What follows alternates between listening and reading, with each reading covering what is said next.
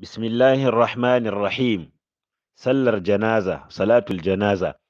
Sallah ce da wani yakan iya ɗauke ta ga wani wato fardu kifaya. Sifa ko yanayin da ake yin ta shine a sanya matacce a gaban limami ta yadda kansa zai kasance ta dama da alƙibla. Kafofinsa biyu kuma ta, ta hagu ga alƙibla. Liman zai tsaya ne a wurin kan namiji kuma a setin tsakiyar mace. Ana yin sallar ne da kabbarori guda huɗu zai ɗaga hannayensa biyu a lokacin kowace kabbara. Kuma bayan kabbarar farko zai karanta suratul fatiha mutum zai karanta suratul fatiha. Bayan kabbara ta biyu kuma zai yi salati ga annabi sallallahu alaihi wasallam kamar yadda hakan ko kamar yadda yake yin salatin a cikin tahiyar sallarsa. Idan ya yi kabbara ta uku zai yi ta addu'o'i yana keɓance mamacin da su.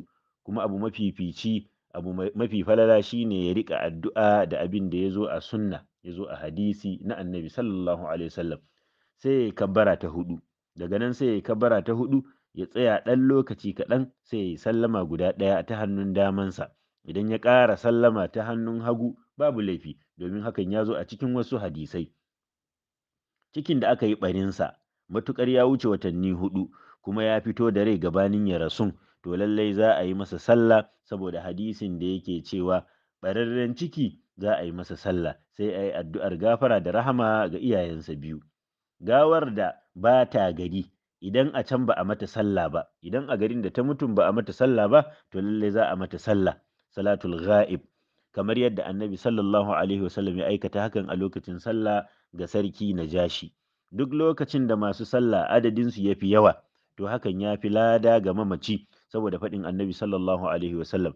Ba mutumin da al'ummar musulmai waɗanda suka kai mutane ɗari za su masa sallah dukkansu suna neman ceto face an karɓi cetonsu a kansa.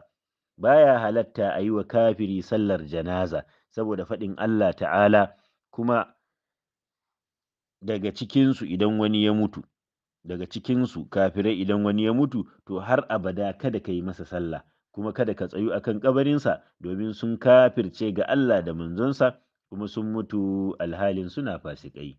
Suratul tauba. Wallahu ta'ala a'lam.